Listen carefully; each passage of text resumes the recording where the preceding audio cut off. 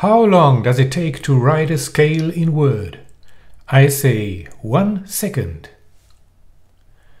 And hello to the first video about my fonts for writing notes in programs like Word.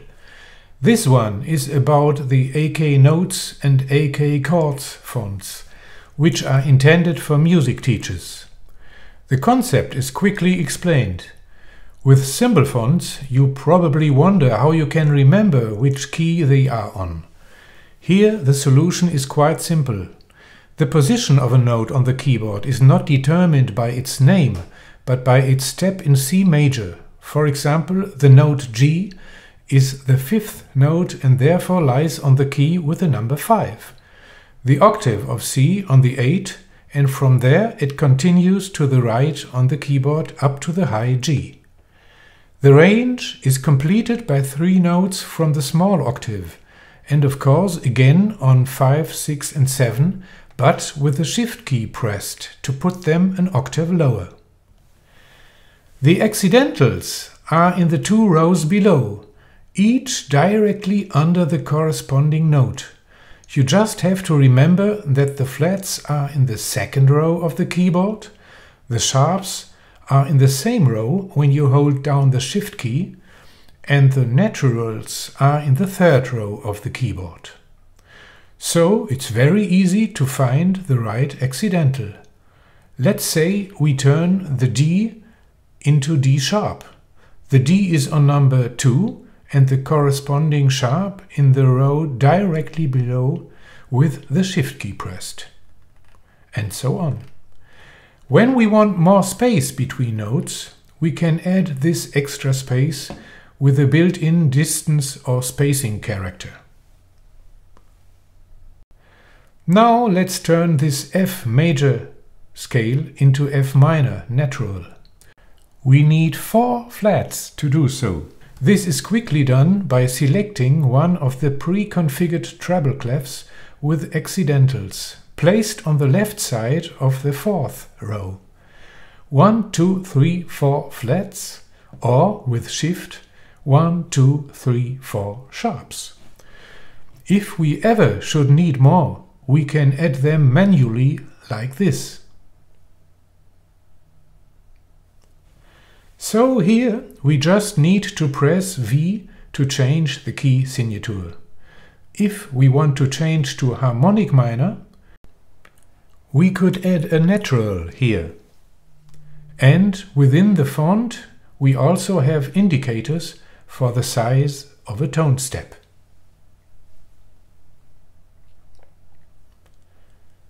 Another frequently needed task is an empty staff for writing notes in by hand. Just press B for the clef and then the distance character and it's easy to give more space to the student.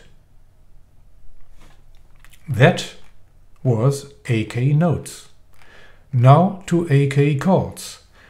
This font contains everything that AK Notes has, on the same keys, of course, but there is an important difference.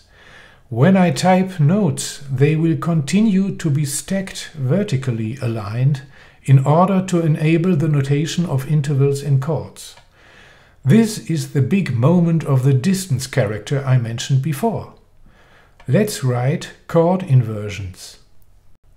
1, 3, 5, then distance, 3, 5, 8, distance, and 5, 8, 0, distance character. The same and even more important in combination with accidentals. Let's write a four-part cadence in E minor. We start with the clef and then the chord, one distance character to add a fourth part on the same note, then several distance characters, now A minor, distance characters. And now the dominant. But first we have to enter the sharps and the distance characters. Below the two the sharp with shift. Below the 4, the sharp with shift, and finally after the last distance character the whole chord and then again distance characters for the solution. That's AK chords. And I hope that these fonts can help you a little bit. Before I finish, I want to give you a short overview about three more font packages. This is what is possible with the rhythm package. It is for explaining note values and creative work with rhythmic patterns, also very intuitive to handle. This is AK Songwriter that makes it possible to write complete melodies with nearly everything you need within the tone range of one and a half octaves. The operation is further developed on the basis of the one in AK Notes. And last not least, AK Harmony that has almost the same handling as AK Chords, but on two systems. And that's it for the moment.